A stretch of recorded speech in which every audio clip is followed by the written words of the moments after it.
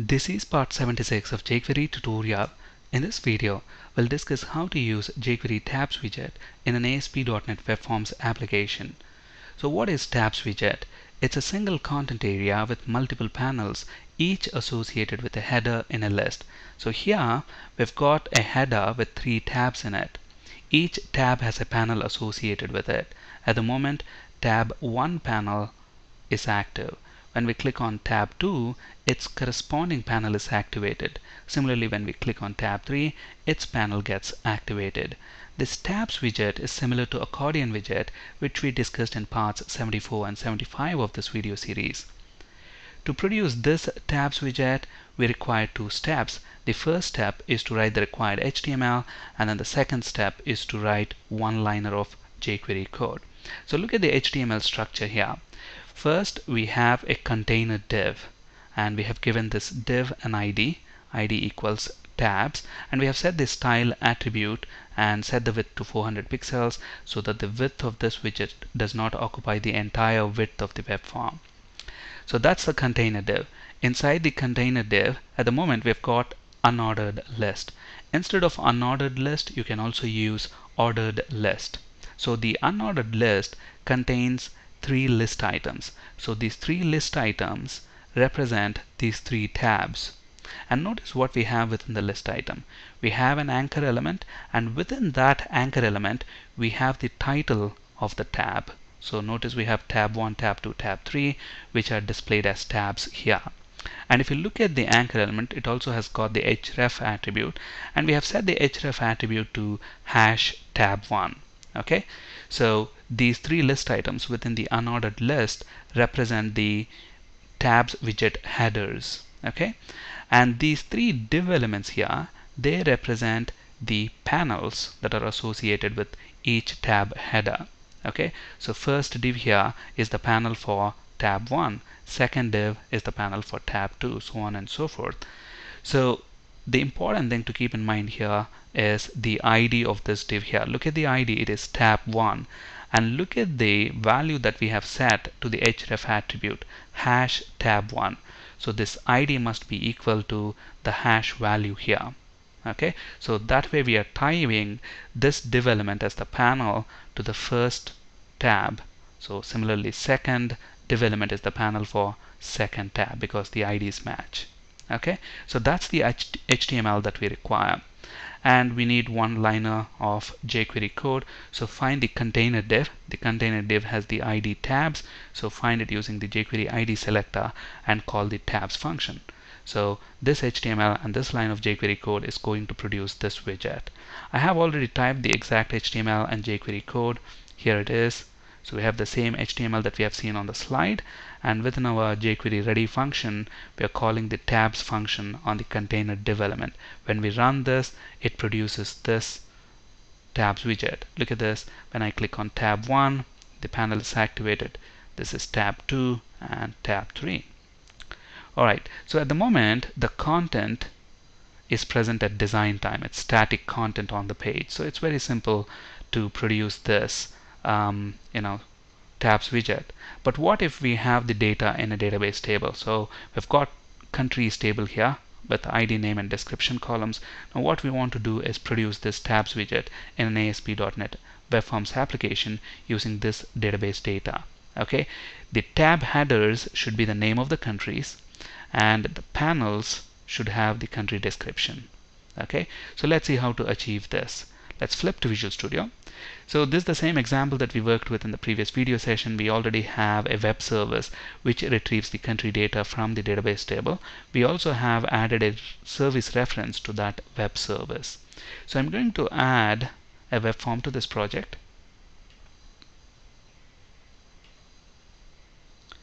And the first thing that we need to do is produce you know this kind of an HTML. So the first thing that we need is a container div. So we already have a div element here. Let's give it an ID. Let's set that to tabs and let's also set the width of this to 600 pixels. Alright, so within the div element, what do we need? We need an unordered list. So I'm going to include that here, unordered list. and within that we need to generate a list item for every row that we retrieve from the database table. We can do it two ways. We can write the jQuery code to produce this HTML. We can also write uh, use the ASP.NET repeater control to do that for us. That way the code will be much cleaner. So I'm actually going to drag and drop the repeater control. So this repeater control is going to generate the list items okay and then we are going to use another repeater control to generate these div elements. So outside of the list item I'm going to drag and drop another repeater control. Okay? So we have two repeater controls here. Now we'll come back to this HTML in just a bit. Now let's go to the code behind file call the web service retrieve the country data and bind it to repeater 1 and repeater 2 so let's flip to the code behind file. So the namespace within which our service is present is services. So services dot we have the country service soap client. Let's create an instance of that. So that's our proxy class. Client dot get countries. So that is actually returning, you know, an array of country objects. Services dot country. Okay. So let's go ahead and store that in a variable. Services dot country so we are going to get an array. Let's create a variable of type array. So this variable now contains the country's data. Now I'm going to use that as the data source both for repeater 1 and repeater 2. So repeater 1 dot data source equals countries and repeater 1 dot data bind. Similarly, we need to bind the data to repeater 2 control. So let's make a copy of this and change the IDs. Okay, so we have binded the database data to both these repeater controls. Now, within repeater 1, I'm going to use item template. Now, we already have the unordered list here. After that, what do we need? We need a list item. So inside that unordered list, for every row in the database, we need a list item. So I'm going to hard code the list item as well here okay and within list item we need anchor element. So let's include anchor element. And anchor element should have the href attribute set to hash. And we need to generate an ID here. So at the moment within the database table we have got four rows okay? So for each row we should set, uh, generate a list item like this. And we should set href attribute to a unique ID okay? Now we can use this id column but the problem with that is that it's an integer. But if you look at the IDs of HTML elements they cannot start with a number. They have to start with a letter. Okay? So what I'm going to do is I'm going to use letter C underscore and then append the integer ID that we get from the database. Okay? 1 2 3 and 4 okay? And we have to bind the integer value. So I'm going to use the data binding function which is eval so angle brackets percentage hash and I'm going to call the eval function. And we want to bind the ID value ID column value. So for the first list item it's going to be C underscore 1 for the second list item it's going to be C underscore 2 so on and so forth. So that's our anchor element. So let's go ahead and close that. And what do we want as the header? We want the name of the country as the header right? Just like how we have tab 1 as the header here. In our example we want this country name to be the header okay? So here I'm going to again use the eval function angle brackets percentage hash eval and we want to bind whatever value we have in the name column. That's going to return us the country name. So this piece of code is going to generate you know the unordered list with all the list items okay? Next we want to generate the div elements so we have another repeater for that. So within this repeater again let's go ahead and use the item template. And what do we need? We need a div element and the ID must match with what we have set in the href attribute okay? So we want a div element and we want an ID for that and ID just like here within the href attribute it should start with c underscore and then the actual ID value from the DB so I can actually copy this entire thing and paste it right here So what are we going to get? C underscore 1, 2, 3 depending on the row that we are currently looping over. Okay, so here is the double quote beginning. This is ending here. So let's go ahead and close the div element. And within the body of the div element, what we need, we need to include the panel content. And the panel content should be the country description. So I'm going to use eval function one more time. So angle brackets percentage hash eval and we want to bind this to country description. Okay that's it. So the first repeater is going to generate us the unordered list with the list items and the second repeater is going to generate us the div elements okay? And that's as far as HTML is concerned.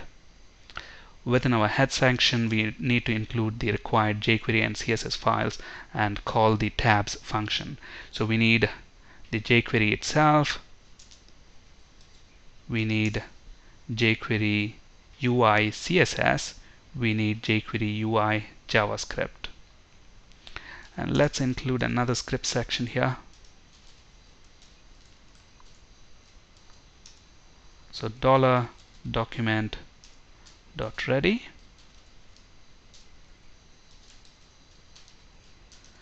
find the container div so what is the container div it has got this id tabs. So let's use the jQuery id selector. Find that using the id tabs. And on that let's call the tabs function. Right so let's go ahead and save the changes. And let's run this. So country names should be the headers. Look at that. We have India, US, UK, and Canada. At the moment, India panel is active. And when we click on US, we get its panel activated. Similarly, UK and Canada.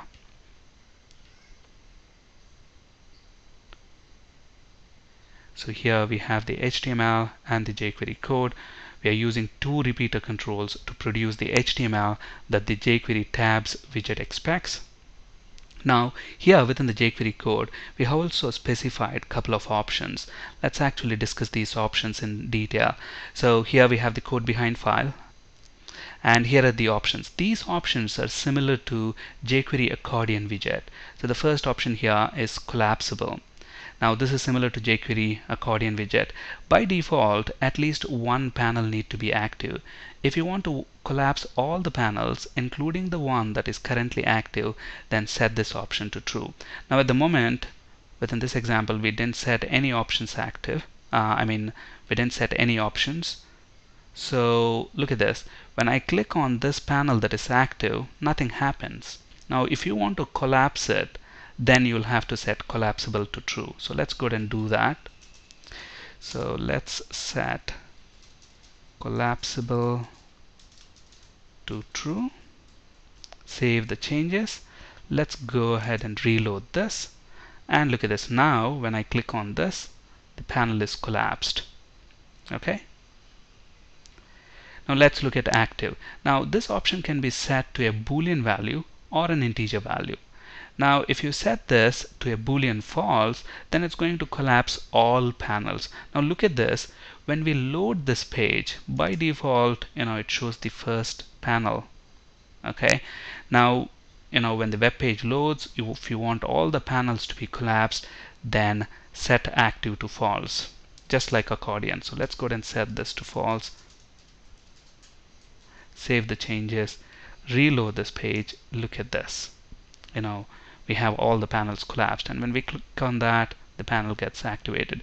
You can also set you know this option to an integer. For example if I set it to 1 the corresponding panel gets activated. So let's save the changes reload this page and look at what's going to happen. Look at that United States panel is active here. Why is that? Why is not the first panel active? That's because you know these panels use zero based index. So India is at zero index United States is at first index UK is at second index. Since we have set active to 1 you know it activated United States. And the last option that is particularly useful is event. At the moment to activate the panels we are using click event. But if you want you know to activate the panels using mouse over event then use event option. The default is click.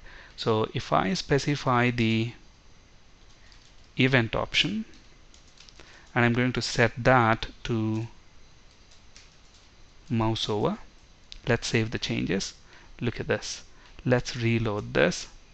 Now this is going to react to mouse over event. Look at this. When I mouse over Canada that panel is activated on mouse out and mouse over you know since we have set collapsible to true you know it collapses it when I mouse over on it again